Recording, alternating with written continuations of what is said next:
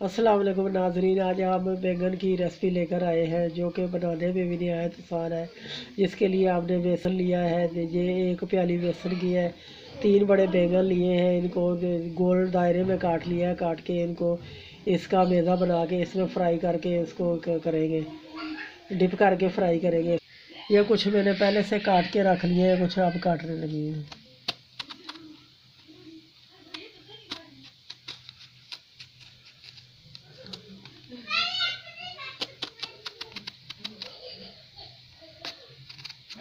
देखें, ये आसानी से कट जाते हैं।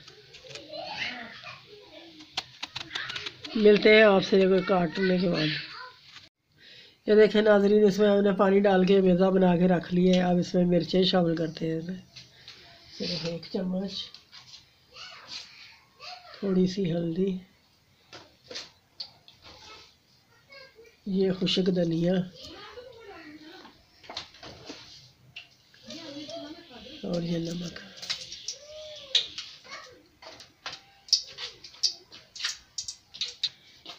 इसको चम्मच के साथ मिक्स कर लेते हैं अच्छे से।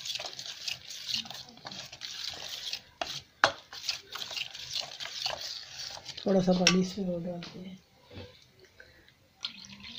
ये बहुत ही मज़े की और चटपट से तैयार होने वाली रेसिपी है।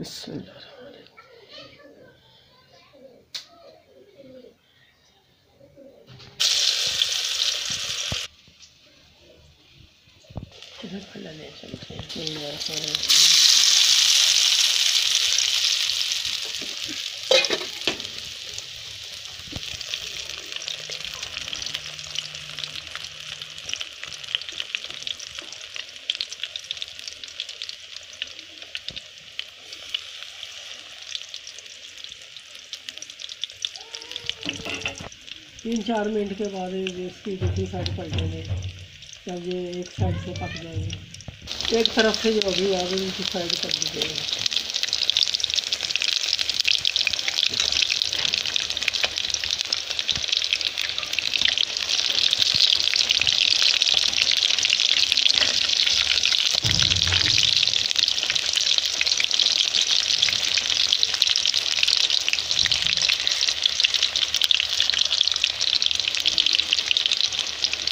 ये हो चुकी है अब इनको निकालते हैं में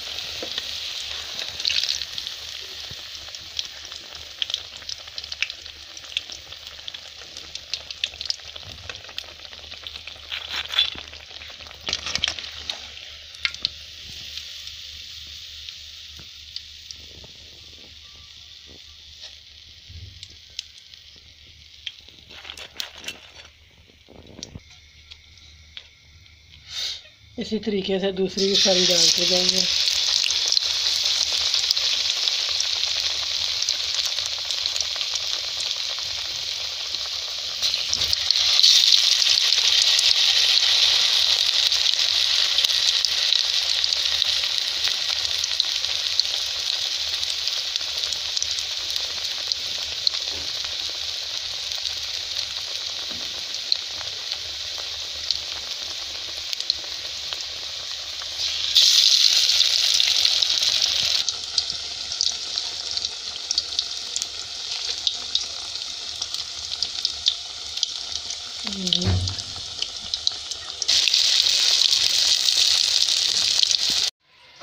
ये देखें नाजरीन, हमारे ये बैंगन के चिप्स बनकर तैयार हो गए हैं, जो कि देखने में बहुत मज़े के हैं। उम्मीद करती हूँ मेरी ये रेसिपी आज की आपको बहुत पसंद आएगी। प्लीज़ मेरी वीडियो को लाइक करें और चैनल को सब्सक्राइब करें और साथ में लगे बेल का बटन दबाना मत भूलिएगा। अल्लाह ने चाहा तो एक नई रेसिपी के साथ आपसे फिर दोबारा मुलाकात होगी। तब तक के लिए इजाज़त दीजिए। अल्लाह हाफिज़।